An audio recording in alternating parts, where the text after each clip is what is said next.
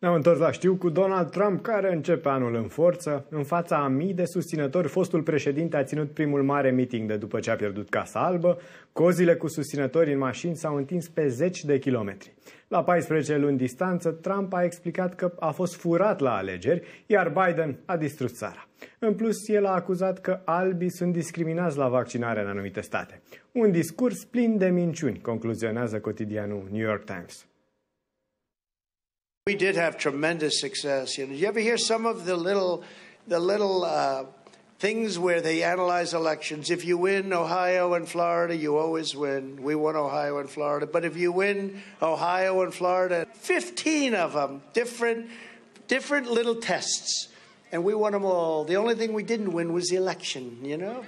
The left is now rationing life saving therapeutics based on race you don't get the vaccine, or if you're white, you don't get therapeutics. It's unbelievable to think this. Mai lasă și cu Trump și îi băgăm atâta în seamă pe toți bluzerii. Da? Face și el ca Hamilton în Formula 1.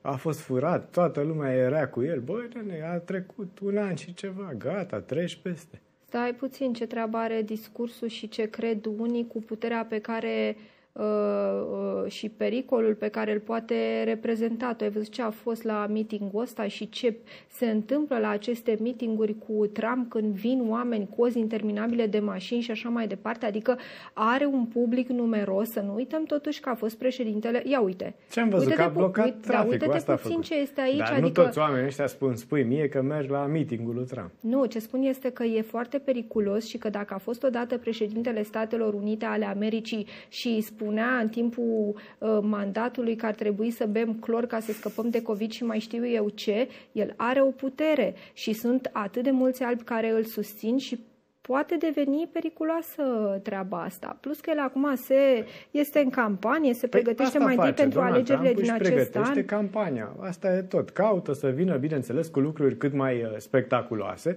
adevărate sau nu, dar zic că nu ar trebui să ne uităm prea mult în eu în zic gura că, lui. Eu zic că nu trebuie subestimat și că se greșește dacă uh, nu... Mă rog. Își înrăiește suporterii. Asta e părerea mea. Iar este scandal ca la Capitoliu.